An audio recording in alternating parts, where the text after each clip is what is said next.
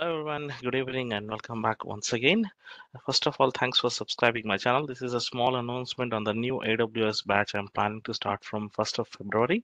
Let me quickly share the details for the same. So if I go back to my blog here, Cloud under blogs, the latest one, you, have a few details related to the next batch which I'm planning to start. And the timing is morning 8 to 9.15 right? So it's going to be one hour, 15 minute session. You can join the initial free demos by clicking this link simply. And let's have a look at the course content later. And you can drop me an email or you can call me on WhatsApp or you can call me on, on this number if you have any questions related to the training program. It's going to be Monday to Saturday and I would need roughly around two months to cover up the whole program. And the prerequisites are, as I mentioned, very simple. Any sort of uh, administration or on-premise uh, infrastructure knowledge will be value add. If you have a traditional administration knowledge, it will be uh, definitely uh, value add uh, along with this training, right? So the fee, as I mentioned, it's going to be 15,000 if you go with the installment, then you'll get a 2000 discount. If you go with the single payment, it's 13,000. So well, current batch uh, group I have created over here on the WhatsApp, so you can join and uh, co collaborate with the other uh, students as well. Okay. And some of the demo videos are mentioned over here so you can go through the previous recordings and let's quickly take a look at the course content. What i'm planning to cover in this training is is sysops engineering and uh, sysop administration i would say yeah and architect uh, solution architect associate. So these are the two programs i'm planning to cover. Obviously we'll start with the basics what is aws and what things we need to make sure when you are working with aws and other other cloud services right?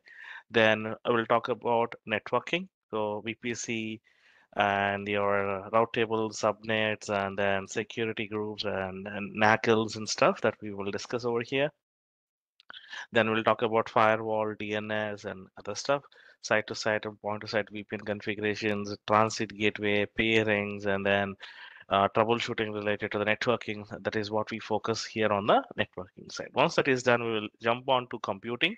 So when I say computing, EC2 instances and container services and then other stuff, we're going to focus here. Now, once that is done, we focus on high available solution designing.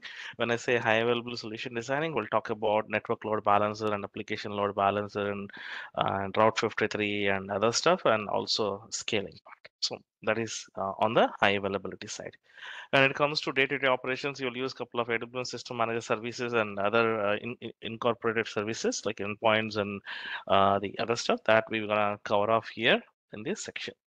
Now, once that is done, we'll jump on to storage. We'll talk about S3, Glacier, how you will manage the storage within the AWS and what sort of scenarios that you will see, what sort of troubleshooting that you will see in the AWS side that we'll try to discuss over here. Once that is done, we'll talk about the PaaS databases, RDS and other NoSQL databases like DynamoDB and Redshift and other stuff that we will see. And uh, in-memory database like Elasticsearch or Redis in, in the traditional way how we use and how that can be used in the AWS environment that we will focus here. So once that is done, we'll talk about day-to-day -day operations. When I say day-to-day operations, monitoring, troubleshooting, reporting, and other stuff.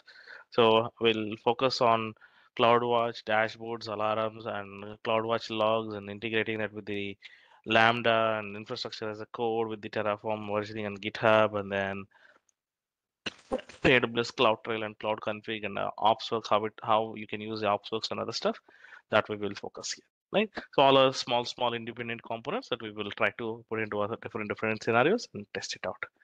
Once that is done, we focus on security, how we can provide the security and other stuff. Uh, when I say security, IAM, uh, identity center, right? So, and then Active Directory integrations, how you will use the uh, resource uh, access manager or guard duty or KMS and other uh, AWS services in order to provide the security to your resources which are hosted in the AWS environment. Okay, so once that is done, we'll talk about developer solutions. When I say developer solutions, how you can uh, deploy or uh, configure or manage the container applications or Docker applications, I would say, or how you will roll out those uh, images on the, that, that we have built in the Docker into EKS or ECS environments, and how you will set up the Fargate and other stuff that we will discuss over here. So once that is done, we'll talk about migrations you have an on-premise customer environment where a customer want to migrate to aws you will use certain aws tools to migrate from on-premise to aws how that can be done that we will see practically. Then once that is done we'll talk about developer tools.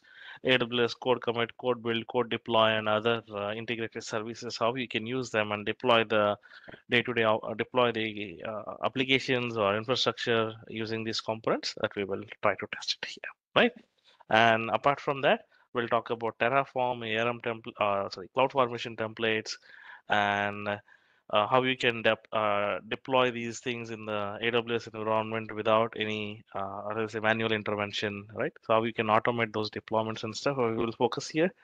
And once that is done at the end, we'll talk about what sort of day-to-day -day activities that one, one will perform, right? What kind of troubleshooting, what kind of uh, requirement gatherings or what kind of uh, uh, solution designing that any anyone can perform within the AWS that we will review at the end of the training. Also what is the certification roadmap and how you can try for a job after practicing these sessions right? So that we will address at the end. So as i mentioned over here majority of these sessions would be hands-on uh, real-time training sessions so uh, please utilize the time. The batch is going to start from 1st of February morning 8 to 9.50. So thanks for your time and I'll see you on the demo day.